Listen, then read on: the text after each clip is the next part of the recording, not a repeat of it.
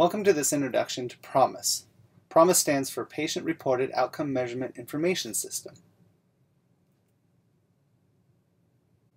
So PROMIS is a set of person-centered measures that look at three main domains, physical, mental, and social health function. This here is the About page on PROMIS at the healthmeasures.net website listed down below, and it's a great place to explore and understand more about PROMIS outcome measurement. PROMIS is distinctive in that it's created to be relevant across all conditions for the assessment of symptoms and functions. So in the past decade, patient-reported outcomes have become very prevalent in healthcare. PROMIS is an NIH-funded initiative that started in 2004, and the data behind PROMIS measures comes from large samples of community and clinical populations. So how many measures does PROMIS include? As of April 2017, 83 different PROMIS measures. And here are some examples. Global health, cognitive function, self-efficacy, fatigue, pain behavior and pain interference, physical function, sleep disturbance, ability to participate in social roles and activities, and social isolation. Here at this website is the full list of adult measures, all 83, which you can explore. So how do the PROMIS measures work? Well, each measure is a computer adaptive test, or a CAT. And a CAT selects each next question based on your response to the previous question. Typically, the first question asked is always the same question for a given measure regardless of who the patient is. But then the computer algorithm chooses the next item based on your response. Here on the left, we see the first question in the physical function measure of the PROMIS CAT.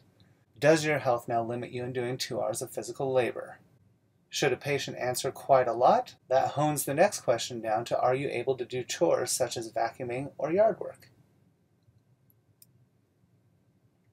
As questions progress, the cat hones in on your final score. And that score is normed to the general population.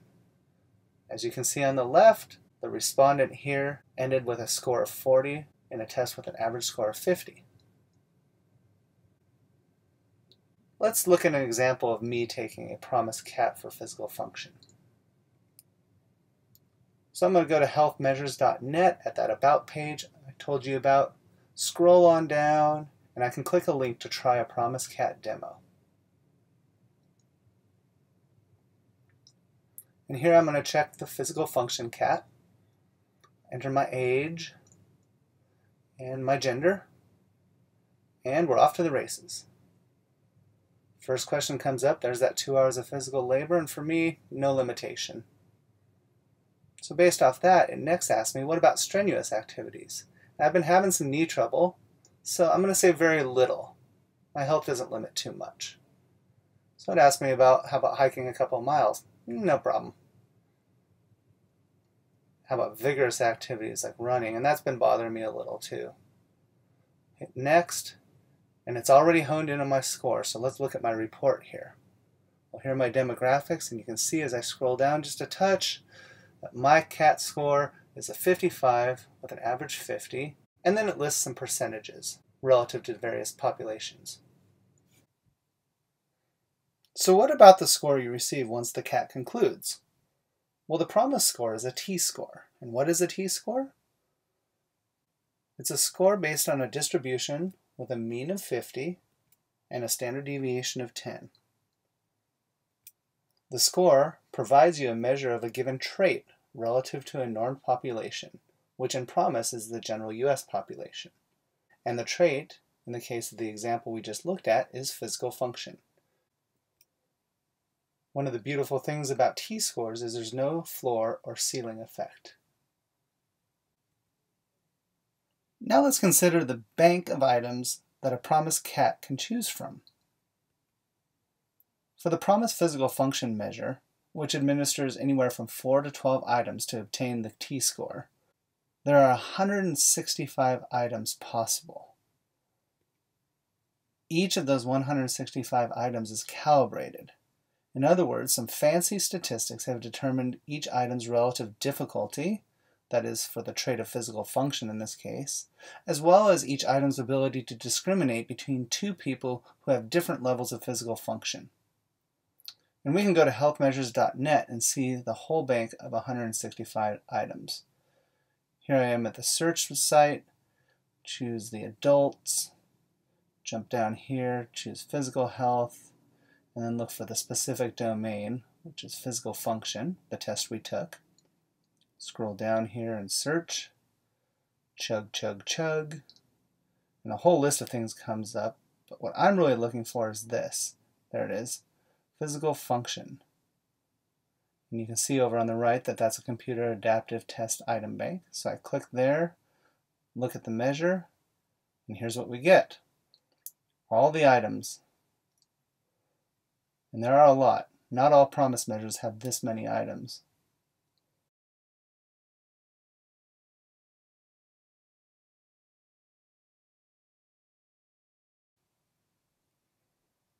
So I pointed out before that each of the items is calibrated. So here's our one moment of getting a bit technical. What is calibration? Well, each item is calibrated using item response theory, or IRT which is using a probability model to predict the likelihood that a person with a given level of the trait, for example the trait of physical function, will answer a certain way. Let's take an example item here. Are you able to run 10 miles? And there are five choices, without difficulty, all the way down to unable to do. And if we look over the left at the curves, we see that each of the item responses are matched with a curve of probability. When you look at the y-axis, if you look at probability, we have a probability of 0 to 1 possible. And then along the x-axis, we have the level of the trait of physical function, where the positive numbers move towards higher physical function, and the negative numbers move towards lower physical function. And as you can see, a person who has a lower trait of physical function is more likely to answer unable to do, the blue curve, or with much difficulty, the red curve. Now you can see that each curve rises and falls as trait moves from low to high, such that people with a very high level of this trait would be most likely to answer with little difficulty, the purple curve, or without any difficulty, the pink curve and each item has its own set of probability curves that reflect both difficulty and the ability to discriminate against different levels of trait. The cat uses this information to decide what item to ask next. So I want to share this video from the Health Measures website. Dr. Karen Cook at Northwestern University does an excellent job of describing CAT and how IRT works. Computer adaptive testing goes by its initials, so it's called CAT. You could say that item response theory is the math behind the CAT, and it's also which what gives me an excuse to use this great graphic. Computer adaptive testing starts with a bank of items. A bank of items is a collection of items that covers the entire range of the trait that you're interested in measuring and all the items of that bank are calibrated to an item response theory model. That is, all the items have been modeled using IRT's probability equations. Let's use an easy example to explain how a cat works. Imagine that you want to measure physical function. There's a whole range of physical function from very low physical function to being at a, a high level athlete level. And you can picture a lot of different items that you could write that would target physical function. This is your item bank. What an IRT calibration does is order these items along the continuum from very low function to very high function. Once you have your items all calibrated, the cat can go to work. It starts by identifying the first item to administer to the respondent. Now, if you don't know anything about your respondent, then the best guess you could make is that he or she has a medium level of physical function. So the CAT algorithm goes, identifies an item that has a medium difficulty, and administers this first item to our respondent. But what if our respondent is a high level athlete? In that case, she will answer this item in a way that indicates that she has higher than average function.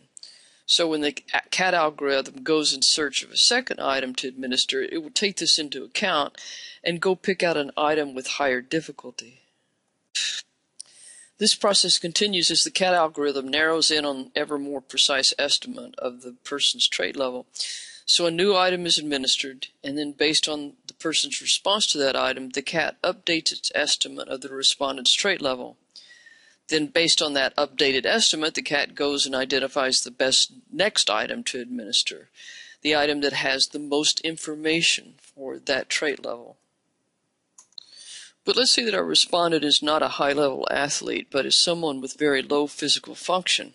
In that case, he's going to respond to that first item in a way that indicates that he is lower than average physical function. The CAT algorithm takes this into account and goes and finds an easier item. This item is administered and the process continues just as before. After every response, the CAT's estimate of trait level is updated. And then based on the updated estimate, a new best item is picked. Notice what is accomplished here. The CAT has administered items that are tailored to the respondent. So hard items aren't given to the person with poor physical function, and easy items aren't given to people with excellent function. And even though these two respondents get different items, the IRT model is able to line them up on the same mathematical me metric. After only a couple of items have been administered, the standard error of the cat's estimate of the person's level of trait is pretty wide. After another item is administered, the standard error gets smaller. As more items are administered, the algorithm closes in on a reliable estimate of the person's trait level, and the standard error tightens up. With a polytomous scale, after six or seven items, you often have a lot of information about the person's trait trait level. That is, you have a very reliable estimate, one that has a very small standard error of measurement. The CAT algorithm continues until either a, a specified number of items have been administered. For instance, you might tell the cat to administer seven items to everyone. Or B, the CAT algorithm can be programmed to continue until a specified standard error is reached. Or you can use some combination of the two. The rules that tell the cat when to stop are aptly named. They're called stopping rules. This is a rare example of accessible psychometric terminology. When you think about it, testing someone or assessing someone using CAT is a lot of trouble. It requires specialized software, it requires technical expertise, so it's fair to ask this question why bother with it? Well, if you think of measurement efficiency as the precision that you get relative to the to the number of items that are administered, the CAT algorithm maximizes this efficiency. That means the burden of responding to items is lessened. So you get less burden from one assessment, and that also makes room for measuring more domains. There's increasing realization of just how many psychosocial domains influence health outcomes. If you want to measure several of these, then it's important that you do so with as much efficiency as you can muster. So hopefully now you have a useful understanding of PROMIS computer adaptive testing. And there are significant advantages to PROMIS.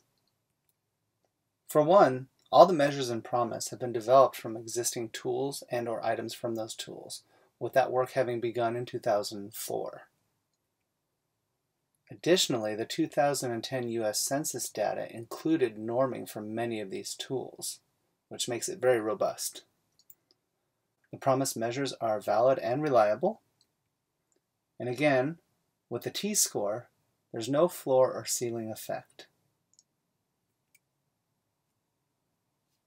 Much of the work in more recent years has been to correlate existing outcome measures with corresponding PROMIS measures.